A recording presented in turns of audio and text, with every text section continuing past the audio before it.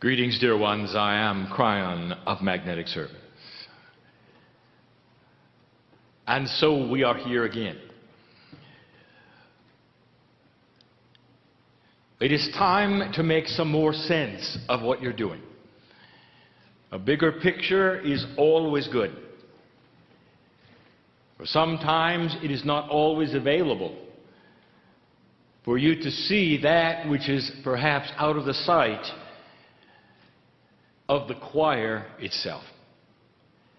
It's a larger picture.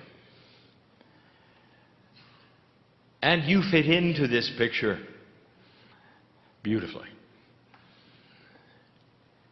The earth's history is grander and greater than any of you know.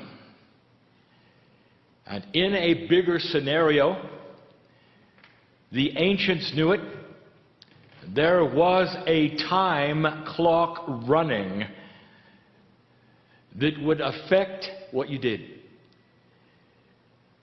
Although you have been here with the knowledge of dark and light for almost 200,000 years, it has only been in the last 30,000 that civilization has developed and the test really began.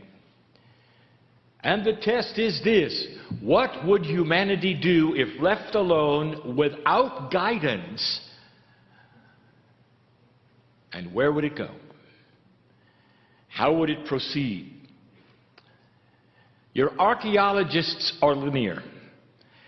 They have a preset bias that says that civilization grows and always starts small and gets better or worse, but it starts from one point and goes to another. And as they dig and as they look and as they search, this is the bias. What they don't know and what they did not expect is that there have been four civilizations of the planet. When left alone, humanity destroyed itself almost four times. In the future, archaeologists will discover this. Let this be a time of notification. For this is being shown and it's being recorded.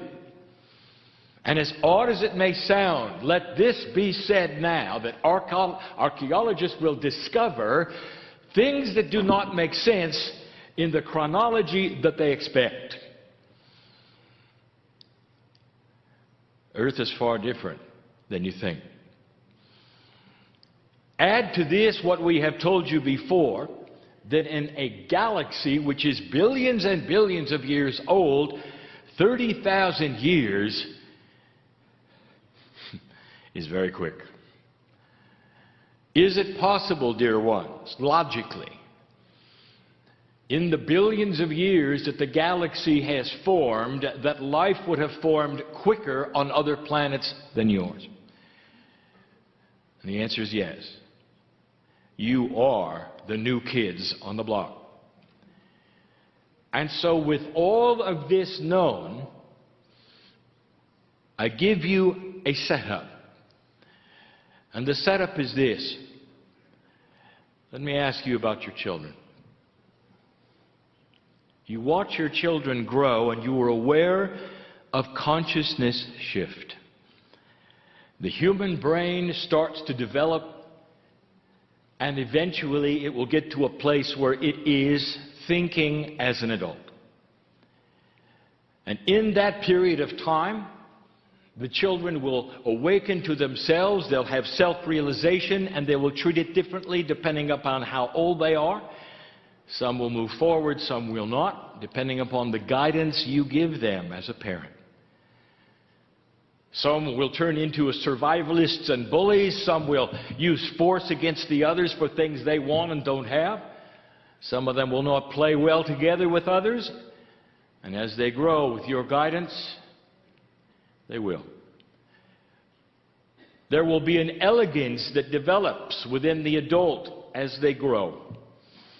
And the parent will breathe a sigh of relief that they made it and that they're there. I want you to picture something right now. What if you weren't there? What if the planet was only children? What would happen? Without guidance, without wisdom, without the elegance that you know about of human behavior and maturity, what would happen? Books have been written about that possibility. One of them, The Lord of Flies. Would you end up with marauding children killing one another, having no concepts of the elegance of getting along? I think you see the metaphor, do you not? And this is what you had four times. The earth turned into a situation where civilization could not get along and ended itself four times. This is the fifth time. And this time was foretold by the ancients. The ancients said it was the last time. And when you turn this page, if you had not learned by yourselves what you needed to learn, you would have the end of humanity. And that was your prediction, if you recall. In your scriptures, that was the prediction. But the ancients had a different one. The potentials that if you would turn the corner, something else would happen. An elevated consciousness would begin. Now, use your common sense and your logic. Do you think that would have simply happened by itself because you passed the marker, or would there be some outside influence because of it? In come the parents. the transmissions from the great central source representing other planets of ascension will be given to you, received here. And what will it, what will it give you? What is appropriate? What would you give if you found a tribe that had never advanced, that was thousands of years old, had never heard of anything else on the planet, and were, were losing their population due to disease and death and bad water and all the other things, and you suddenly found them, what would you give them? Let me ask you this. In all logic, what would you give them, dear human being? Would it be McDonald's and Monsanto? No. No. No. Let's, let's start to think about it. What would you give them? These are all metaphors. You'd give them clean water. You'd teach them to rotate their crops and work with Gaia. You'd give them tools so they could build what they wanted to build in a better way. You'd give them life extension without drugs. You'd show them what's in the forest that they would need and could use. And then when they'd have that, you'd teach them to read. You'd give them literacy. You'd show them poetry. You might even give them colors they'd never seen. You'd show them artwork and music. And that is what the Pleiadians are going to do for you. Yes, there will be inventions, for you are device driven but not forever. The devices that you have, they'll reach a limit, dear ones. They're the training wheels on your bicycle.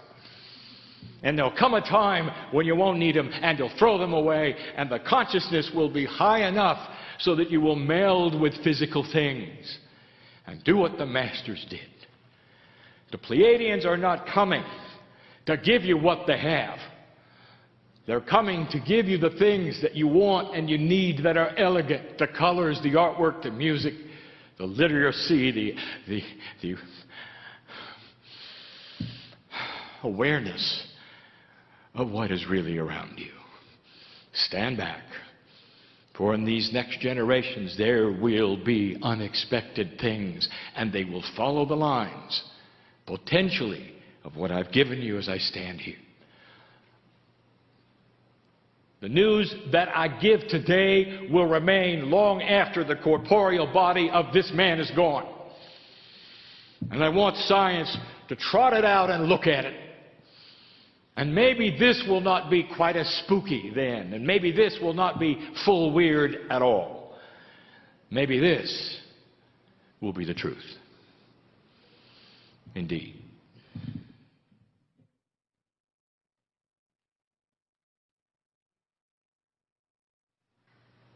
Channeling is interesting. For the recipient and the one who delivers it must be out of the way. My partner steps aside. In order for this to happen in the way that I wish it to happen for you, he can have no foreknowledge of what I want to do. And what I wish to do depends upon this room and how receptive it might be to something you did not expect. First, let me set the scene. The mountain that you celebrate, that you've come to see, is alive.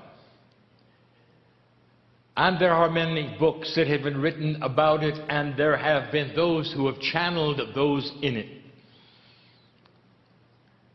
Aurelia Louise Jones is here. She did not reincarnate. She went to be in the mountain where she belongs. And in the process, she had a reunited time with Adama. You should know Adama.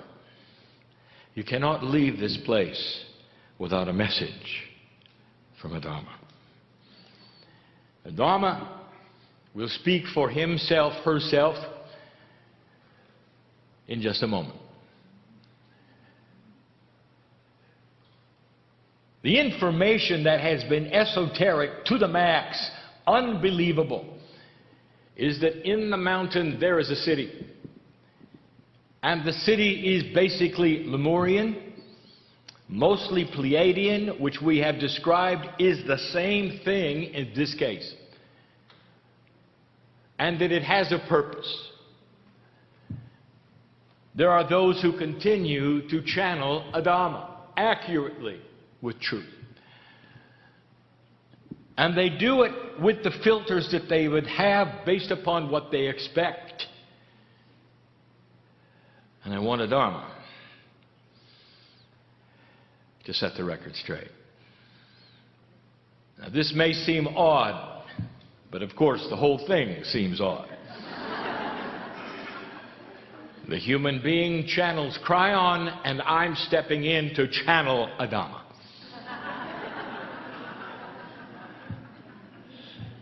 You see, Adama is not on the other side of the veil. You see, Adama is alive. Adama has what we would call a quantum consciousness that always was and will be as long as Adama wants it. Now, does that sound like a Hebrew prophet to you who could choose the moment of ascension when he was finished? This is a quantum attribute. Imagine life as long as you wish it to be, either corporeal or not, and a transition on your schedule. Does that sound odd to you? It sounds like it would be miraculous. Only angelic beings can do a thing like that. Really? Or perhaps it's simply high consciousness just for a moment or two. Let us see what Adama has to say.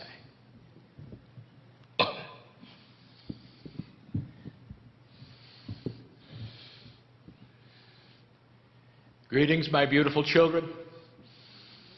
I am Adama, and we have expected you. You sing the lullabies in my language that we expected. I want you to pay attention. No amount of verbiage from any human being or channeling from any human being would awaken the city that I represent. I am Adama. You see me as male, I am not. I am a collective consciousness of a multidimensional city filled with energy, waiting to be released as a time capsule to you. It is beautiful. It is filled with maturity. But let me tell you the litmus test, as you would say. For we have been here a long time waiting for this, and we know that there is only one way for this, what we call the guardians, to release the information. There is only one way. And that is to hear our native language and songs sung by humans because this was never written. This was never to be discovered. It doesn't exist on the planet. It had to come. It had to come from human Akash that remembered. And when it did, it would be the signal and the sign. It would be proof that it is happening. That's only the only proof that would be satisfactory, and you have come to sing it to us. Let it be known that the mountain has heard it, is ready. Out will pour at the appropriate time and the place through the planets that needs to be. Out will pour the beginning of the maturity that you need, the elegance of consciousness that you need. It is going to start in humans who are least resistant. And those will be those who are young, who have not made up their mind whether this is silliness or whether it's real. And out will flow then the abundance of the maturity that we have for you. And it will be given in whatever scenario of time you create of receptibility and resilience. As you sit here, listen, I am Adama. As you sit here, I know things, I will tell you things on this planet right now. Right now. There are things taking place as you sit here where the old energy wishes you to leave the building and watch the news and say, it can't be real because look what's going on on the planet. There are pockets of old energy that know about this mountain and that will create pockets of disruption and war so that you will believe that it is not true. They don't have a chance. They don't have a chance. Not with you here. Do you understand what it must feel like for us, this collective consciousness, to hear you with our DNA singing in our language the lullabies that our mothers have sung to us.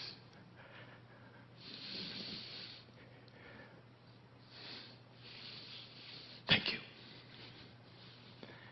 Finally, it is time. I am Adama. Thank you. Today, the mountain celebrates.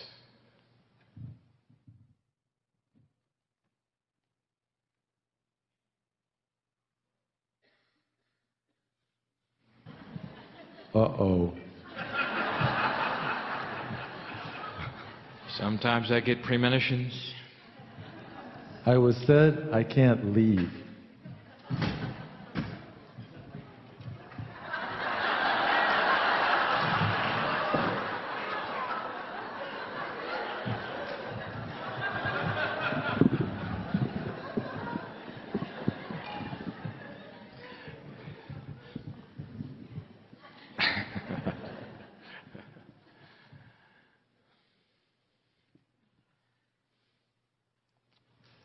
My partner steps aside.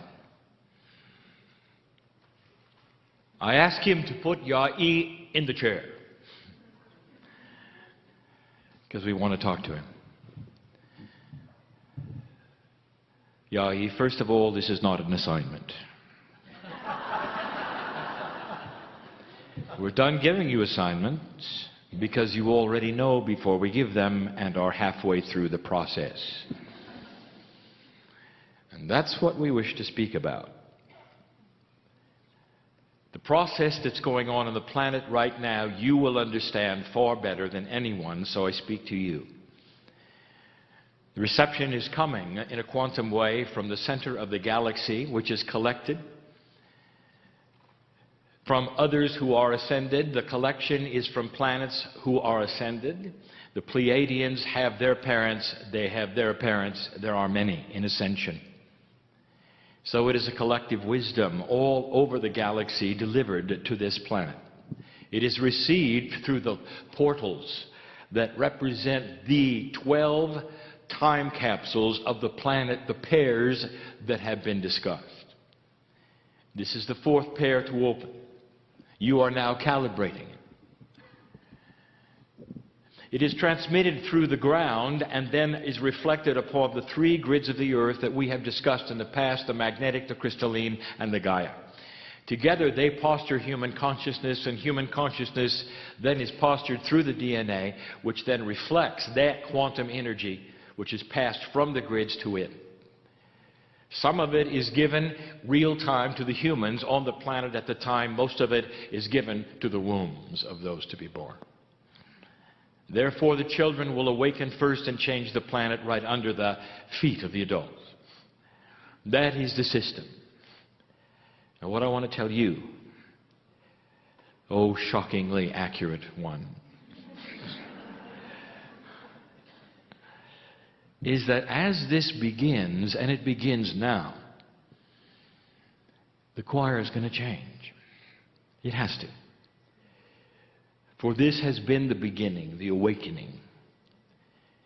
The tones that you have remembered have come, literally, from one Pleiadian, and that was your mother. Because your mother is still alive not corporally, but consciously. And she delivers this waiting for you to awaken. You are remembering, of course, the lullabies, the sounds, the language, all of the things.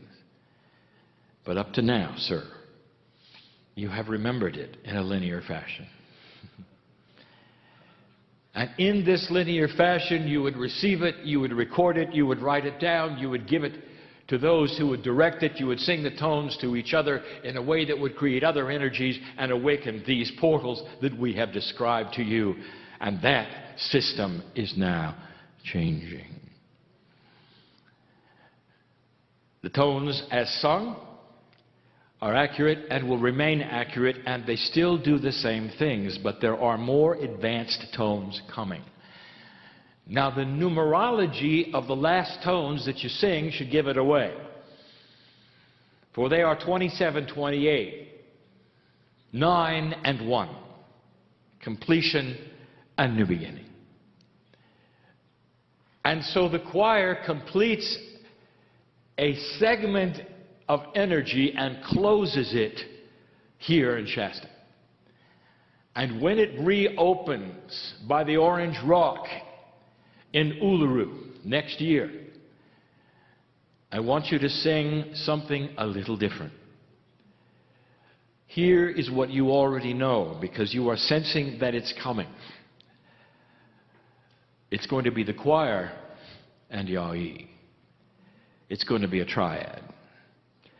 The three represents the catalyst, and the choir becomes a catalytic calibrator of the future portals to open as the time capsules we describe.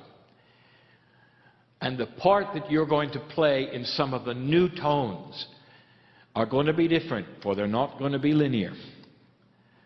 The linearity should be carried by the choir singing two kinds of tones that are simple, that would create a bed for you to channel over.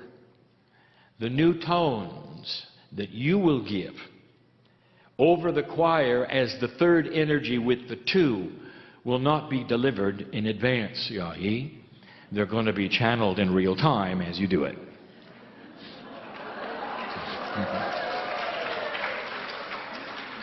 you knew this was coming. It's not an assignment. And I know you're comfortable with it, sir, because you're already doing it. You have noticed something with the tones that you have been given in the last few months that they're never the same way twice. They change because the planet is changing under you, because your mother's information is starting to awaken, and each time you get it, it's different. So now, don't go through the process of linearizing any of it. Don't even write it down. Just stand and deliver. You are the one, Yai, to do this. And I know you will. Blessing.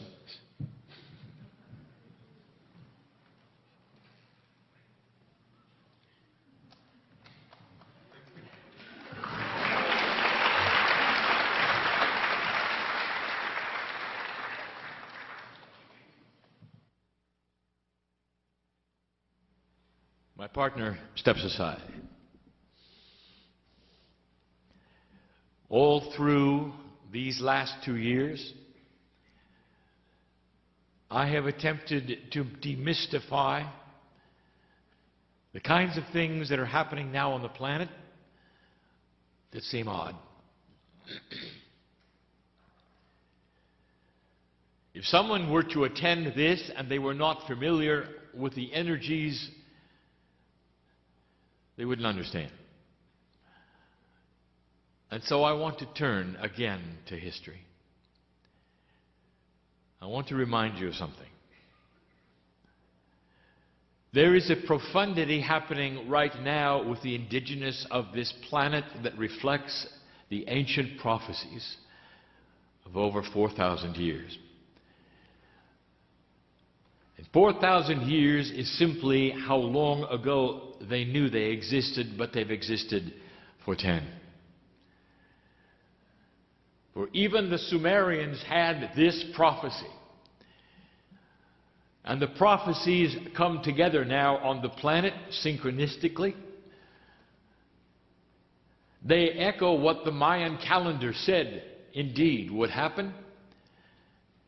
The end of the long count represented the end of the calendar completely. So terminal was it that it could not be revised. A new calendar had to be put in place. It has many names. For the ancients were not able to connect together to give it a common name, but the prophecies were the same. Prophecy of the eagle and the condor representing a higher consciousness, a softer earth. The awakening of the puma, the movement of the kundalini. It continues and continues. North America, South America, all over the planet. And it has nothing to do with New Age. It has nothing to do with the choir. And yet everything to do with all of it. This is not a New Age event. This is an ancient event. The very thing that you are doing was foretold by the ancients for this time in history, past the precession of the equinoxes. It would bring this planet to an awakening. And I want to remind all of those who would watch this in, in disbelief or not understand what this was all about. It is the fulfillment of a prophecy that is not published well but will be. For the ancients are getting together and the indigenous are starting to realize that the prophecies that they've all had all over the planet are the same one. And that prophecy says that should you pass this marker, this fifth time, a chance, a potential for an awakening planet would exist. That is not from Kryon. That's from civilization. Your planet has created this. The ancients have told you about it. It has been recorded and it is here. It's not a mystery. And it's not something that only a few would understand or do. It is part of ancientness and the prophecy of those who would bring you something on this planet that would be hopeful. And so I want to again deliver the message that in the process of fulfilling this prophecy, there is no predestination that it will take place, only a potential that is so grand that has been so strong for 25 years that you've been preparing for it. I am Kryon. I would not be here. I would not have visited. My partner, I would not have awakened his consciousness if the potential was small. The potential is grand and it is great.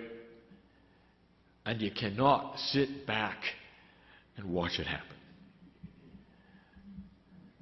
You are actively participating in an event that many would think was odd and strange, but you feel it, do you not?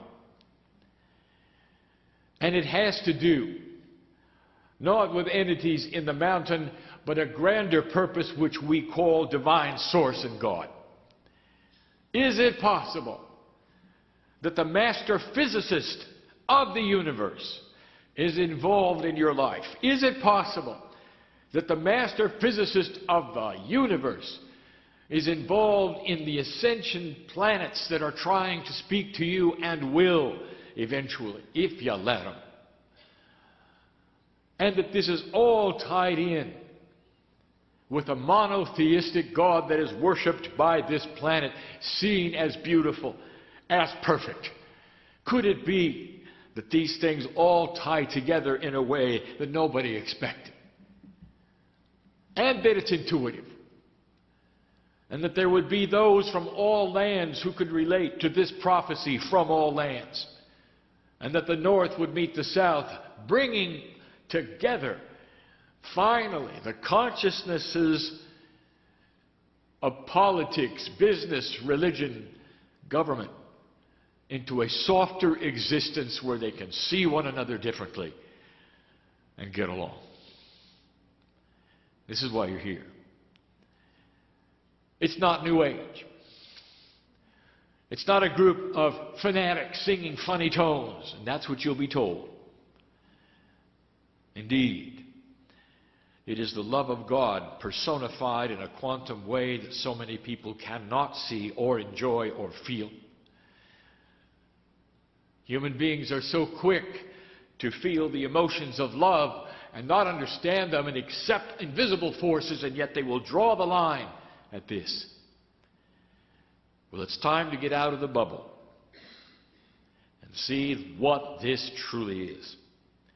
It is a magnificent manifestation of everything the ancients told you you could do and what would happen if you put your mind to it.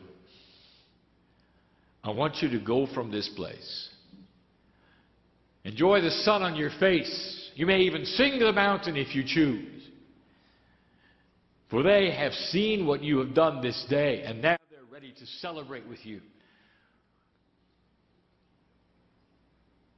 Let the calibration be finished. And let the nodes and the mole come together that were created for this purpose on this day in year one. It is done. And you have done it. And so it is.